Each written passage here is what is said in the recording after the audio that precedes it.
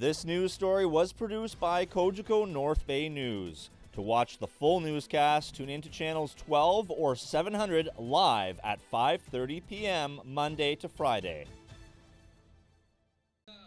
All right, we are moving on in this newscast. Another poll, another shot for the city of North Bay to take. A Fraser Institute blog pegged North Bay as one of the worst cities when it comes to municipal tax hikes. Predictably, some councillors agree, and predictably, some councillors disagree with this latest batch of financial news.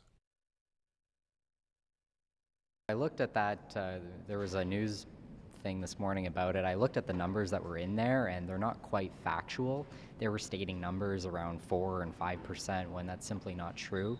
Over the last three years, we've averaged 1.7%. And if you want, you can go Google and you could search up all these different articles and they'll tell you exactly what our annual tax increases have been. The study that came out was, uh, was a 2015 study. It looked at the last uh, 10 years from 2005 to 2015. And there's no question uh, the years from uh, you know 2006 to, to 2010 there were there were some very very high uh, tax increases but you know the last three years uh, you know I think we've got the message as a as a council uh, you know uh, the three-year average for for tax increases last three years is, is 1.7 percent Councillor Mike Anthony has been talking about restraint for a while.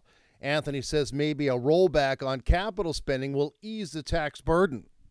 Infrastructure, Greg, is really, really, really important. There's no question. We can't go back to neglect. Like when I first got on council, we were doing something like 7 million in infrastructure.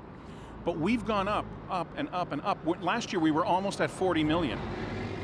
I'm saying maybe folk, there's folks out there who can't quite keep up or finding this tougher and tougher. Maybe we could do 33 or 35 million. Well, the thing with Mike is, you know, he, he says cut back on capital spending, but yet every capital spending uh, spend over 75,000 comes to council for uh, uh, for a vote, and he votes on every single one to spend it. If you are interested in watching Cogeco North Bay News, you can become a subscriber by calling 1 800 267 9000.